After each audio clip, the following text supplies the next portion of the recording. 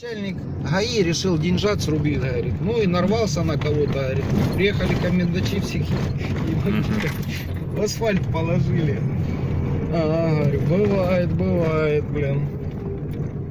Мы в Ясиноватой.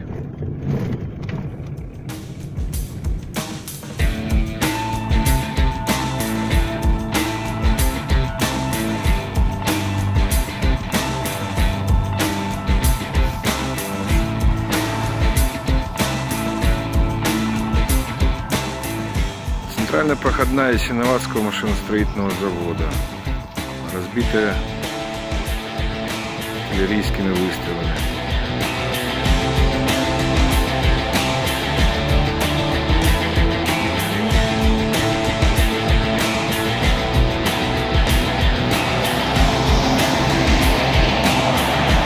Вот такие тут таблички вдоль дороги на Горловку установлены.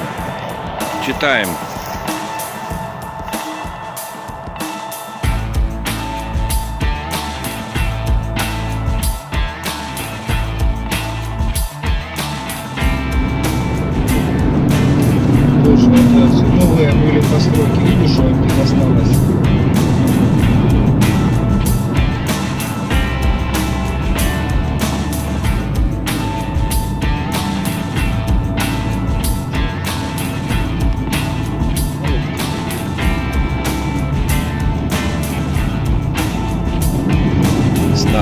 «Хватит бухать». Закончился поселок Красный Партизан. Дорога практически пустынная.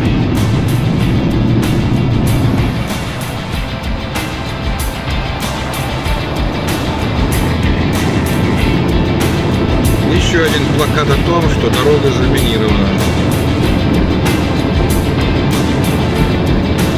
Точнее, окрестности дороги. Одна.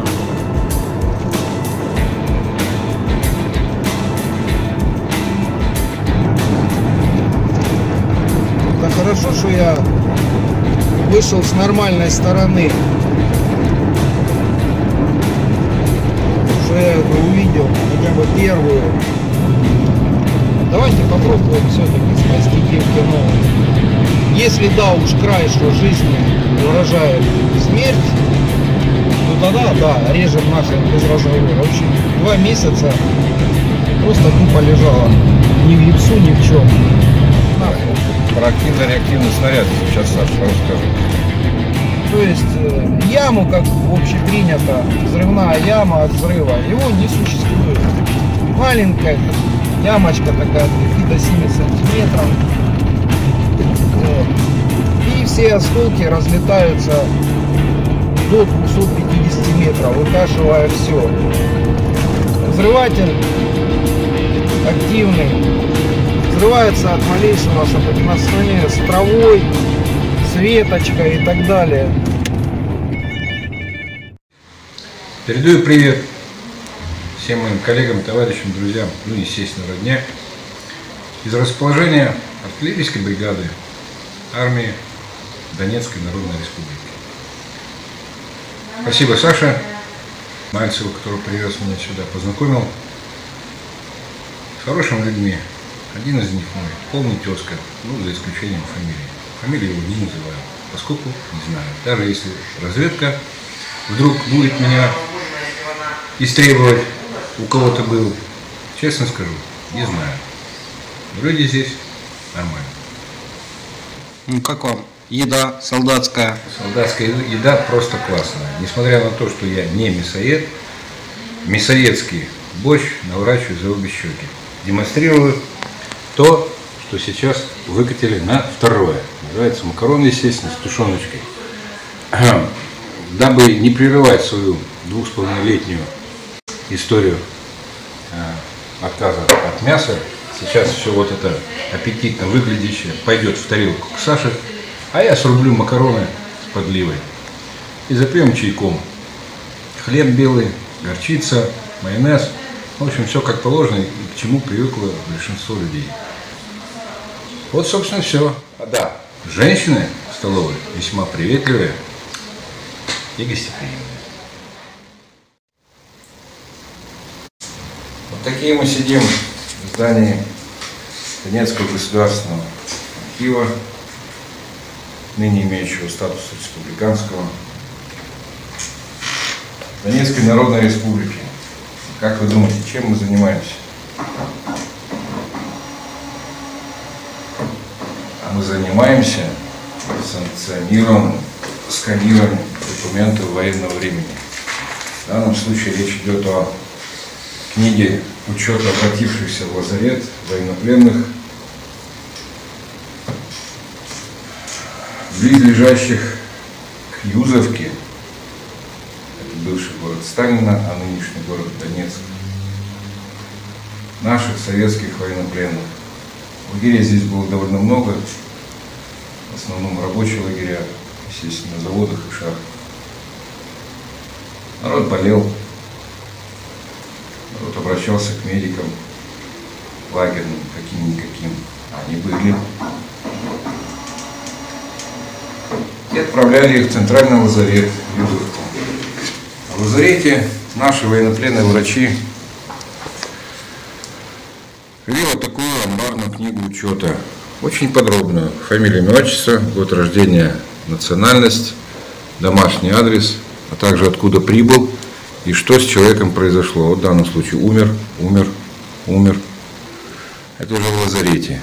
Если нет сведений о судьбе, куда человек дальше двинулся, куда он пошел, что с ним после лечения произошло, это означает одну простую вещь. Человек после оказания помощи был отправлен в то место, откуда он прибыл в лазарет.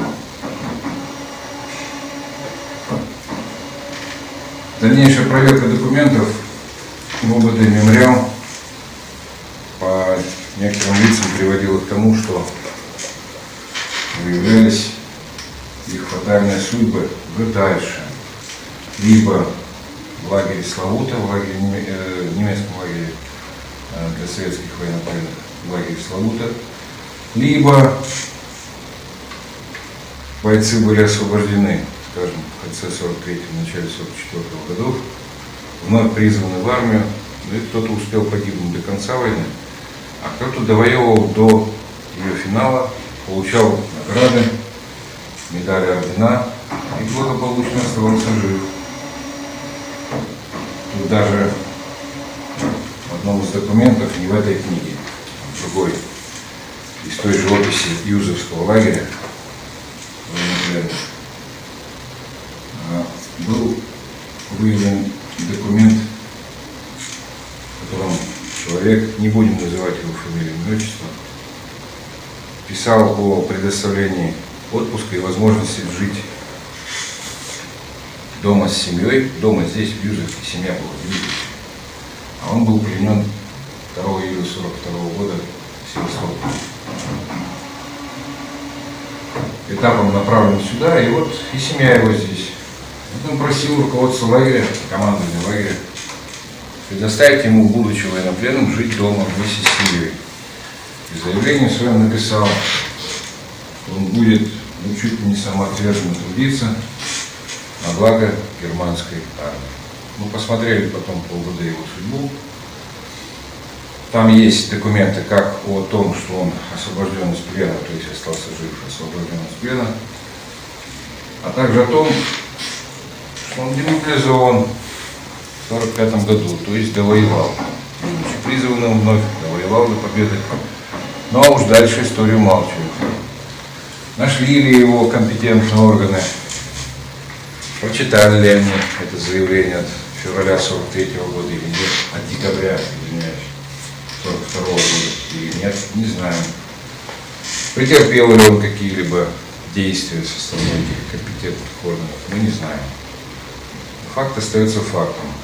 В данном случае документ неумолим на благо германской армии. Закончим сегодня сканирование документов. Поблагодарим руководство архива. На этом завершим работу.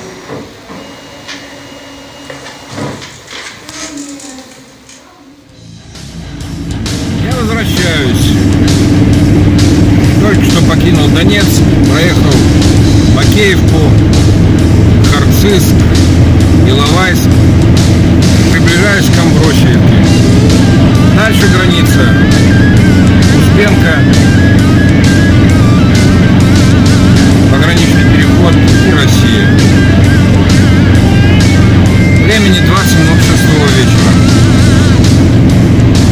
Дело сделано. Документы получены, отсканированы, сохранены, в копии переданы Донецкому государственному архиву. Ну и сейчас едут вместе со мной эти копии для того, чтобы в скором будущем включить их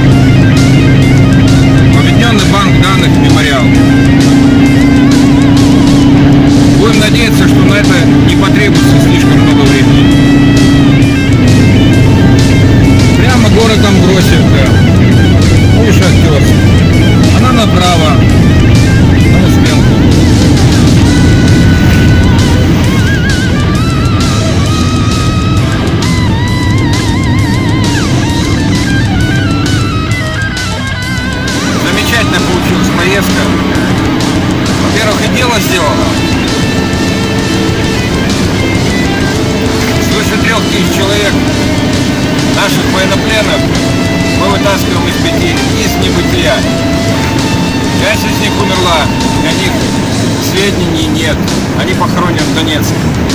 Часть осталась жива, была освобождена нашими войсками, продолжили эти люди воевать. Кто-то остался жив, дожил до победы, кто-то даже награжден, кто-то даже был на хорошей должности, кого мы успели проверить опытный мемориал. Я встретился с отличными людьми.